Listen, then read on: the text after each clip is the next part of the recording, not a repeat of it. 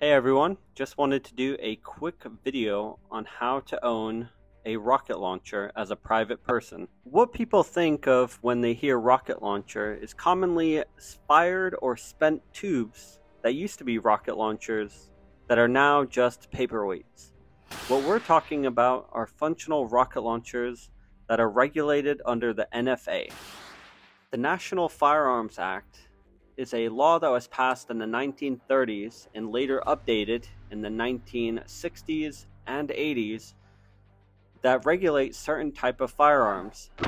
For our video, we're mainly going to be covering destructive devices, which was added in the 1960s. And what those devices are, are typically firearms with a bore over half an inch in diameter. Basically, if the barrel is over 50 caliber, then it is considered a destructive device unless it has a exemption given to it. Typically that'll be the sporting exemption such as the 12 gauge shotgun has a bore over half an inch but is not regulated like typical rocket launchers.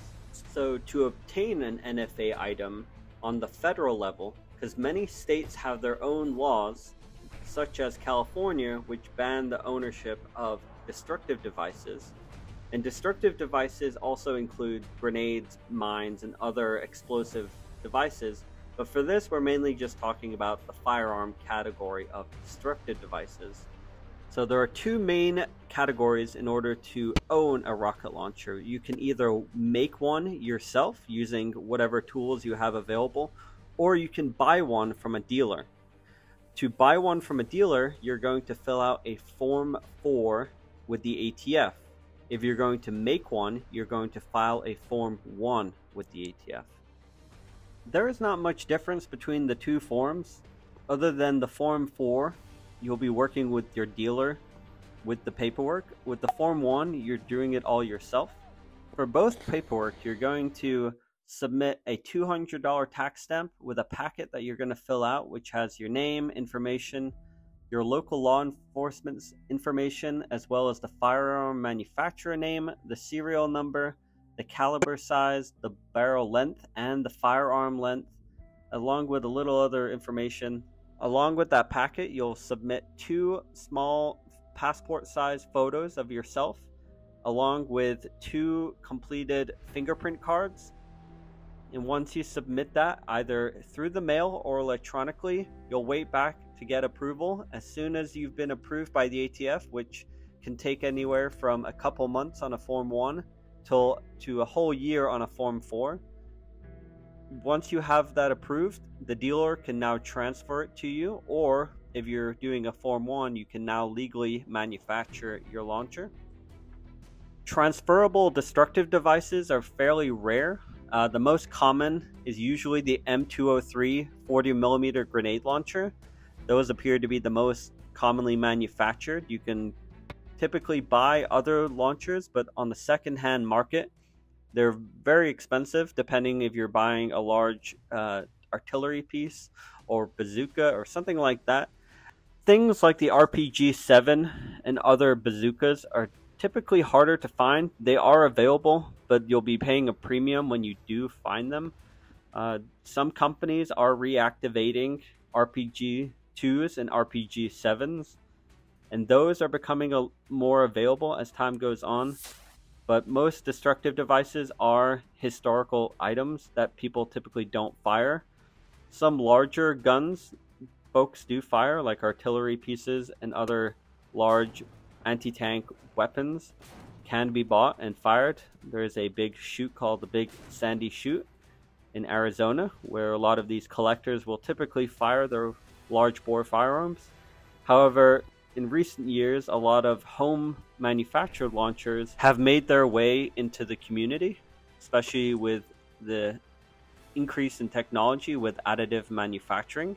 You can now use 3D printing to assist in the build of a rocket launcher or recoilless launcher. We at Wild Arms Research have spent a lot of time working on this type of category of firearm. The next thing to consider is the ammunition. Typically, ammunition is not available outside of 40 millimeter rounds. which have to be assembled on the shooting location due to explosive laws, but those seem to be the most common. Typically, if you want to be able to shoot your destructive device or rocket launcher, you're going to have to make it almost entirely yourself. The rules regarding the ammunition break down in two categories. One, they cannot have more than a quarter ounce of explosive payload inside the warhead or projectile without being registered with the ATF. The second category, whether ammunition is a destructive device or not, is if a rocket has more than 4 ounces of propellant.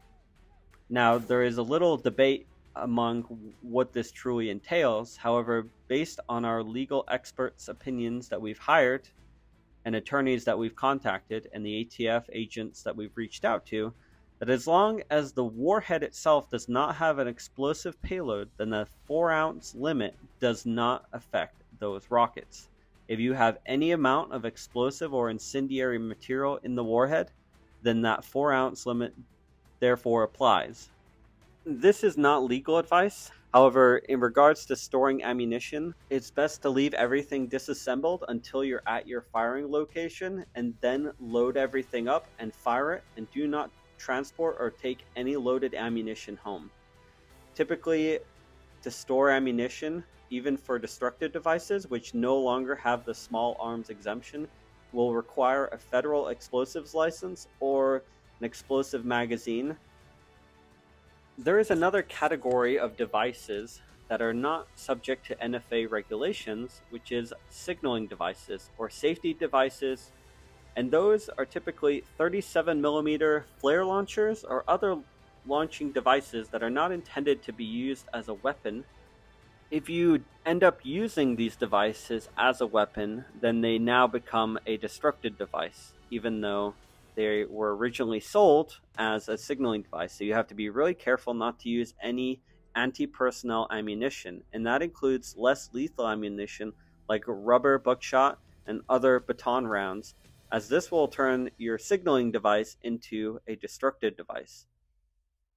I hope you enjoyed our little overview on what it takes to own a rocket launcher in the United States federally. State laws will often vary, so be careful and also your local laws will also have an effect. We appreciate you watching. We make historical launchers and we write books on them. And if you want to support our channel, be sure to check out our videos and maybe pick up a copy of one of our books, either the Fliegerfaust, the M202 Flash, or the Panzerfaust books that are available at the Kommando store and Amazon. Thank you and have a great day.